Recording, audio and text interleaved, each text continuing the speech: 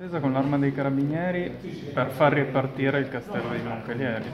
Una data storica che apre per la prima volta il castello di Moncalieri nei luoghi occupati dall'arma. È stato possibile, non lo sarebbe stato, grazie al colonnello russo, all'arma che come noi scommettono sulla possibilità di rendere disponibile e fruibile alle persone un bene dell'UNESCO patrimonio dell'umanità come questo che sarebbe un peccato tenere chiuso.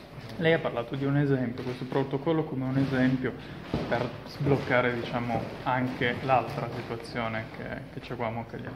È un esempio rispetto a tutti gli attori che hanno la responsabilità sull'altro pezzo residuo della residenza, quello degli appartamenti reali che meritano di essere riaperti, l'esempio ovviamente eh, agli occhi del Ministero che io spero della Cultura, che io spero dia conseguenza agli impegni assunti negli scorsi giorni, quelli di riaprire gli appartamenti. Abbiamo dimostrato con l'arma dei carabinieri che si può fare.